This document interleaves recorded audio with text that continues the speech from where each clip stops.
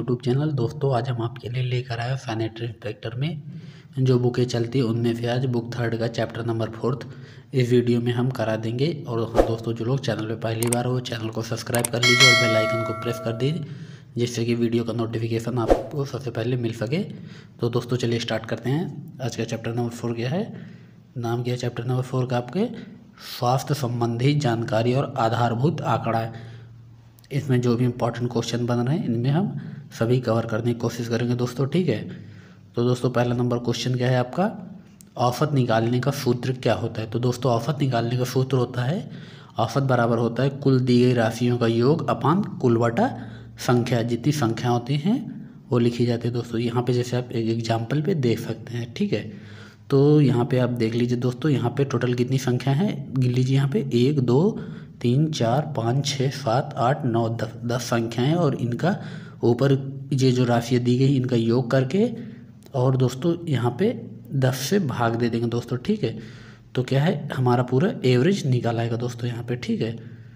ये एवरेज निकाला है दोस्तों, इस प्रकार आपको एवरेज निकालना होता है दोस्तों, ठीक है? क्वेश्चन नंबर दूसरा क्या है?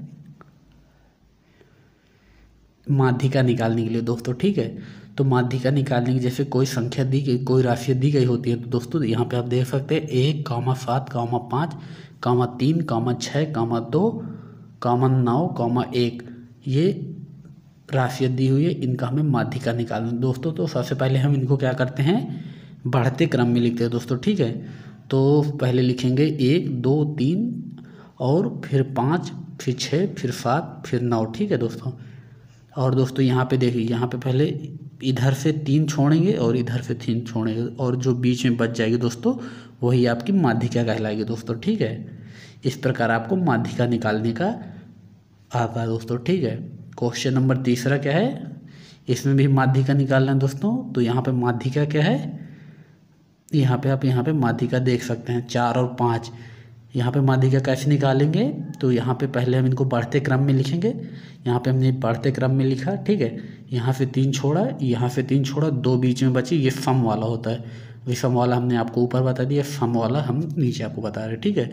तो दो बच गई तो इनको दोनों को जोड़ के और दो से भाग दे देंगे दोस्तों, ठीक है? तो इस प्रकार आपकी ये माध्यिका निकल आई। और क्वेश्चन नंबर चौथा क्या है दोस्तों? बहुलक कैसे निकालते हैं? तो बहुलक निकालने के लिए यहाँ पे आप देख सकते हैं, बहुलक का मतलब क्या होता है दोस्तों? जो सबसे ज़्यादा रिपीट हो। तो आप यहाँ पे देखिए, एक एक बार रिपीट हुआ, तीन कितनी बार दोस्तों रिपीट हुआ? तीन तीन बार रिपीट हुआ और दो कितनी बार रिपीट हुआ? दो बार। ठीक है?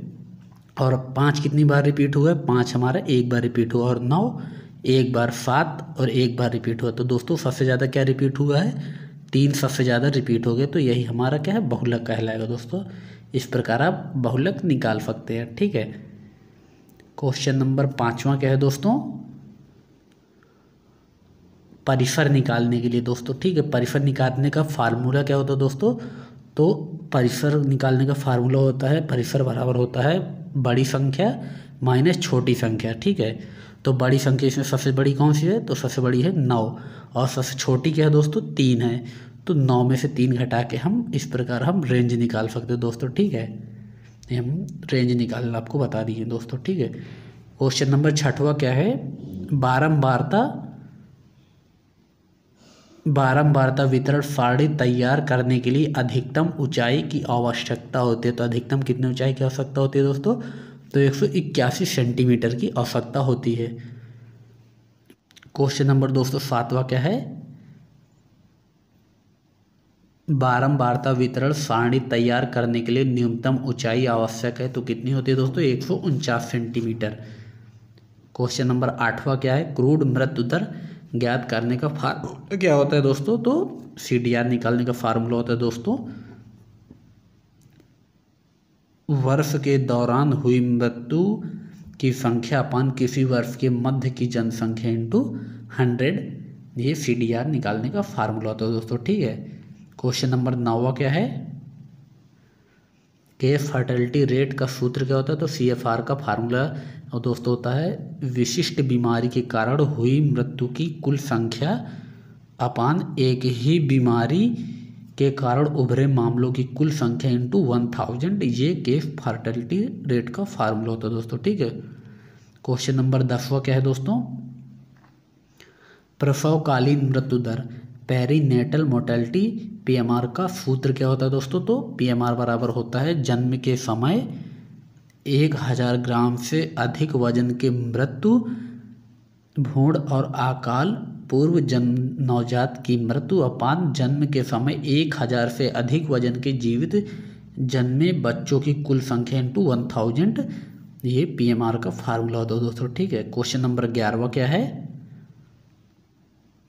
नवजात मृत्यु दर का सूत्र लिखे तो नवजात मृत्यु दर का फार्मूला होता है दोस्तों, अट्ठाईस दिनों के भीतर मृत बच्चों की संख्या अपान उसी वर्ष में जीवित जन्मे बच्चों की कुल संख्या इंटू वन थाउज़ेंड ये दोस्तों नवजात मृत्यु दर का फार्मूला होता है दोस्तों, ठीक है?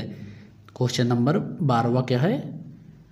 चाइल्ड सर्वाइवल इंडेक्स, बाल उत्तराजीविता निर्देशांक कैसे निकालते तो उसको निकालने का फार्मूला होता है दोस्तों, बाल उत्तर उत्तरजीविता की दर बराबर होता है एक हज़ार माइनस पाँच वर्ष से कम आयु के बच्चों की मृत्यु दर अपान दस। ये चाइल्ड सर्वाइवल इंडेक्स निकालने का फार्मूला होता है दोस्तों, ठीक है? क्वेश्चन नंबर तेरहवा क्या है? दर के तत्व लिखे तो दर के तत्व होते दोस्तों, अंश, हर, समय निर्देशांक गुणांक, ये सभी दर के तत्व होते हैं, ठीक है? क्वेश्चन नंबर चौदह क्या है दोस्तों? प्रसार। एवं व्यापकता में संबंध क्या होता है? तो प्रसार और व्यापकता में संबंध होता है, प्रसार बराबर होता है व्यापकता इंटू रोगों की, रोग की अवधि। ये फार्मूला होता है दोस्तों, ठीक है? प्रसार और व्यापकता में संबंध। अगर दोस्तों आपको आज का वीडियो अच्छा लगा हो तो वीडियो को लाइक कर दीजिए और अभी तक आपने अगर चैनल को सब्सक्राइब नहीं किया तो सब्सक्राइब कर लीजिए। मिलते हैं दोस्तों किसी नेक्स्ट वीडियो में, किसी नेक्स्ट टॉपिक के साथ। तब तक के लिए धन्यवाद।